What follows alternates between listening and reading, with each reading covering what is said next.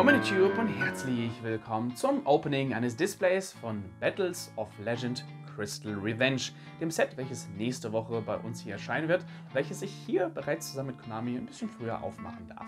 Und ja, hierbei handelt es sich wieder um ein neues Battles of Legend, das heißt, wir haben wieder sehr viele holographische Karten, die dort drin enthalten sind und ja, Support für ein Thema, welches wir schon lange aus dem Anime erwartet haben, nämlich für die dunklen oder schrägstrich finsteren Kristallungeheuer. Und äh, ja, wir schauen mal gleich, was wir daraus ziehen können. Die dunkle Seite des Regenbogens erwartet uns und ich bin gespannt, was uns dort erwartet. Let's go. So, da bin ich mal gespannt, ob auch äh, vielleicht die eine oder andere Starlight Ray hier wieder versteckt ist. Ähm, ist ja so seit den letzten Battles of Legend, Schrägstrich Brothers of Legend ja auch üblich. So. Nehmen wir den auf? Ja.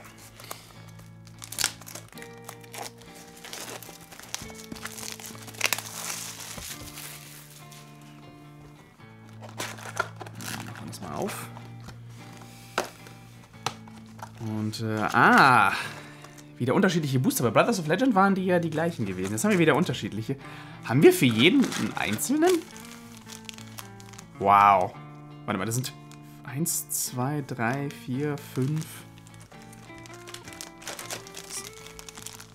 5 Artworks? 5 Artworks. Wer fehlt denn theoretisch noch? Sophia Pegasus fehlt. fehlt.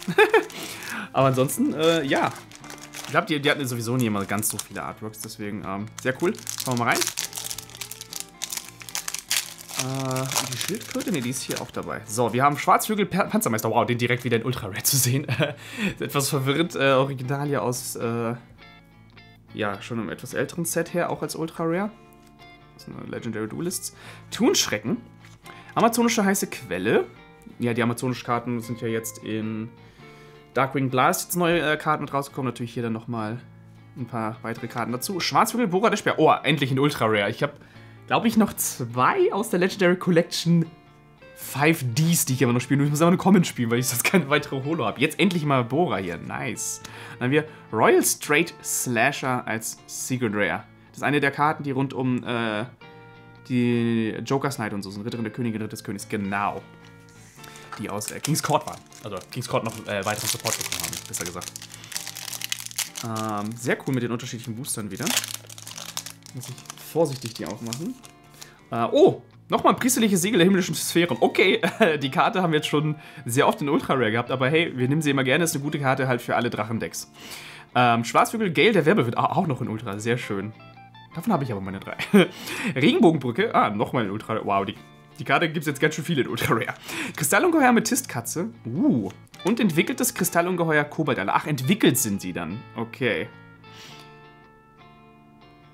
Dann müsste das auch die entwickelte Seite des Regenbogens sein, Konami. okay. Genau, die brauchen fortgeschritten Finsternis. Dann haben wir Ninja-Kunst äh, des Moskitoflugs. Oh ja, Ninjas hatten wir ja letztens auf den Locals ausprobiert. Ähm, werden wir uns nächstes Jahr nochmal vorknüpfen. Vor allem, äh, ja, die kriegen halt noch mehr gute Karten. Hier unter anderem halt auch. Muss man mal schauen, ob man es ein bisschen anders spielt, als wie ich es letztes Mal gespielt habe. Kristallschädel. Oh, wow. Die Karte kenne ich noch aus dem Anime. Irgendwie. Oh mein Gott. Äh, Kettenkobold. Ah, schön für die Despia-Spieler. Äh, und natürlich auch für alle Warte mal. Ich glaube, ich habe auch noch Super Rares. Der Super Rares Infusion Enforcer kam sie mal raus als Ultra Rares. Natürlich schön nochmal für, äh, äh, für das äh, Schreckenspells-Deck. Ragen, der Splitter Blitzstern. Und dann haben wir Evil Zwilling Lilla. Hm. Als Secret Ray hier drin. Interessant. Sieht sehr ähnlich aus der Collector's Rare. Ich hatte sie auch in Collector's Rare.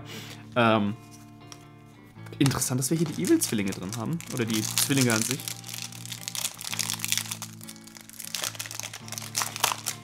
Haben wir Chaos-Valkyrie.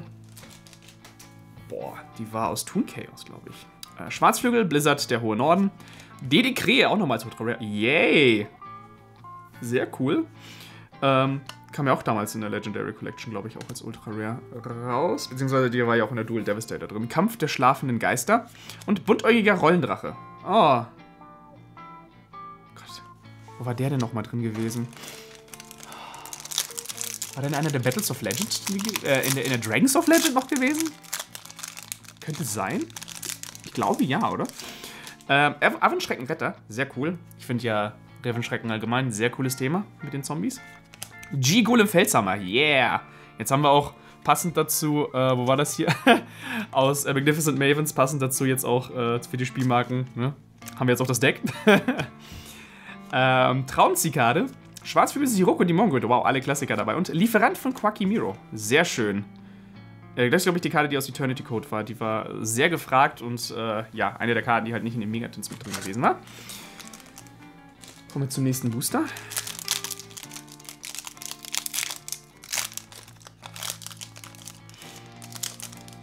Ähm, oh, sehr schön. Schwarzvögel Simon der Toxinwind.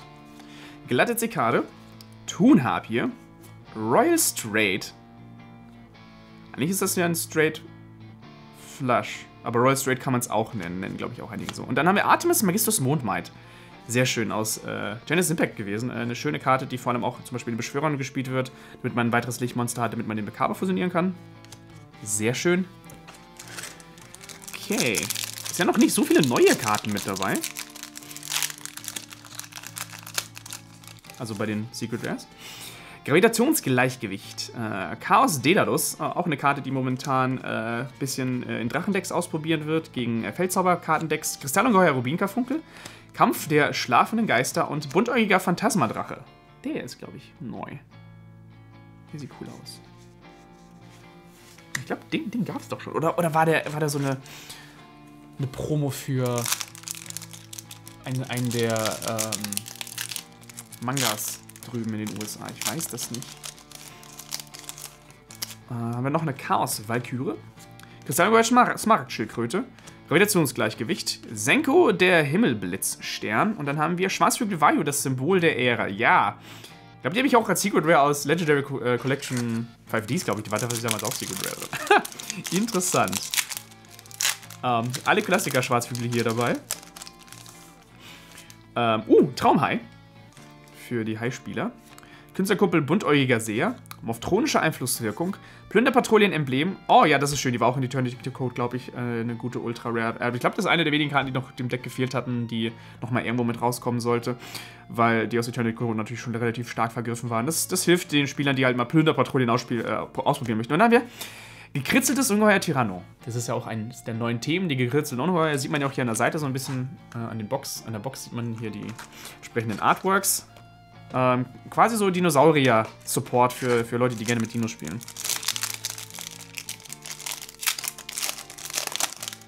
Dann haben wir die nächste Kunst des Moskitoflugs. Dyna Basis. Dyna Panzer. ähm, Dice Dungeon. Oh ja. Dungeon Dice Monsters hier. Richtig Klassiker. Und dann haben wir Chaos Raum als Secret Rare. Wow, das ist.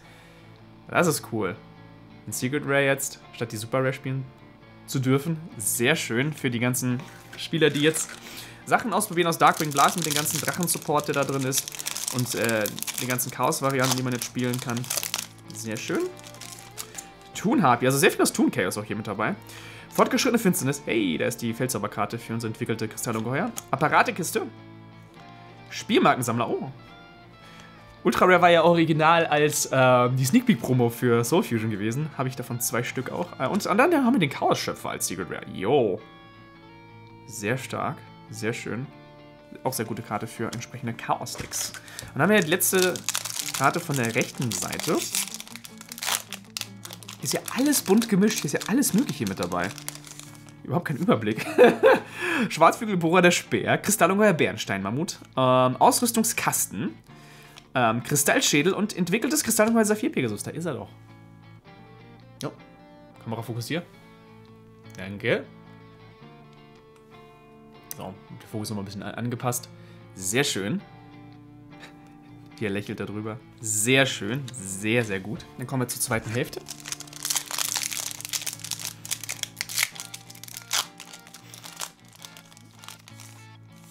Thunharpie, von der haben wir ganz schön viel gezogen schon mittlerweile. Schwarzvögel Blizzard der Hohe Norden. Dede Krähe.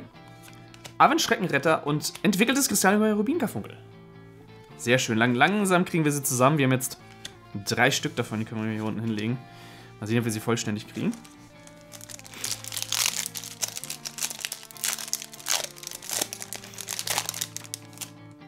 G-Golem Felshammer, Schwarzvögel Sirucke die Morgenröte, Apparatekiste, Schwarzvögel Brise der Sephir, auch schön. Und entwickeltes Kristallungeheuer Kobaltadler. Nein, wir haben einen doppelten. No. Wir möchten unterschiedliche.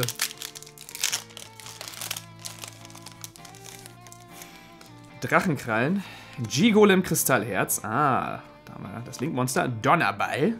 Schreckenspace Patchwork, auch in Ultra Rare. Sehr cool. Äh, war ja damals, glaube ich, in Dual Power auch mal als Ultra Rare drin gewesen. Und entwickeltes Kristallungeheuer Saphir Pegasus nochmal. Oh. äh, jetzt doppelt es sich langsam. Doppelt, doppelt es sich langsam. Boah, was für ein Zungenbrecher. ähm. Gott. Ich weiß halt wirklich nicht, was alles hier drin ist. Da bin ich mal gespannt noch, was da uns noch erwartet. Kettenkobold, Dynapanzer, Traumzikade, Todoroki, der Erdblitzstern und dann haben wir Evil Zwilling Kisikel. Passend zur Lila. Die dann dazukommt. Sehr cool. Dann das nächste Pack. Haben wir unsere Pärchenbildung mittlerweile. äh, Gigolem Kieselhund. Oh, Doggo für meine Frau. Gigolem Sturamenie. Kristallungeheuer Amethystkatze. Schwarzvögel Simon der Toxinwind und Christ äh, entwickeltes Kristallungeheuer Amethystkatze. Nummer 4. Ähm, wird ein bisschen eng am Ende. Müssen wir mal schauen, wie sich das am Ende ausgeht. Äh, glatte Zikade. Royal Straight. Gravitationsgleichgewicht. Schwarzflügel Gramm, der leuchtende Stern. Sehe ich jetzt auch zum ersten Mal. Und äh, Nummer 100, Numeron-Drache. Ja, das ist eine schöne Karte zusammen mit ähm, Glubion. Eine Karte, die auch, glaube ich, in Dragons of Legend, glaube ich, damals rauskommt. 2 als Secret Rare und dann nochmal als Ultra Rare, glaube ich, in Dragons of Legend 3 äh, drin gewesen ist. Daher legen wir die mal hier mit dazu. Ich glaube, mittlerweile ist also Dragons of Legends äh, ist auch schon ein bisschen her, ne? 2015, 16. Nicht jeder hat mehr alle die Karten. So. Kommen wir zum nächsten. Äh, Kristallangeheuer Rubinkarfunkel. Äh, Todoroki, der Erdblitzstern. Ausrüstungskasten. Kristallangeheuer Kobaltadler und verdammtes Kaiserdrache. Wow. Den hätte ich jetzt hier drin nicht erwartet. Ähm, eine sehr alte Synchro.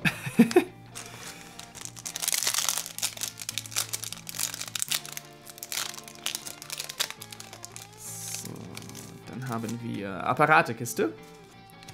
Buntäugige äh, Rebellionsdrache. Sehr cool, dass er auch hier mit dabei ist. Ähm, Schwarzvögel, Brise der Sephir, Drachenkrallen und G-Golem, ehrwürdiger Trille. Oh, das, das G hat es ein bisschen erwischt hier oben. Verschwindet schon ein bisschen. Äh, wobei, es kommt, es kommt auf die Ansicht an. Von der Seite sieht man es wieder, aber so von vorne nicht. äh, interessant. Interessant. So, wir haben noch äh, vier Booster. Und dann sind wir durch.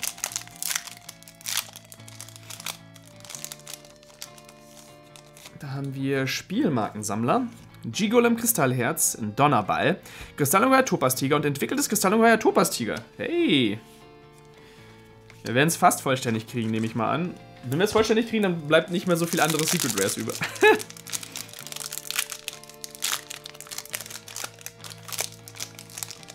so, Schreckens, äh, Patchwork, Kettenkobold, Morphtronische Einflusswirkung. Hm, auch nochmal neu hier.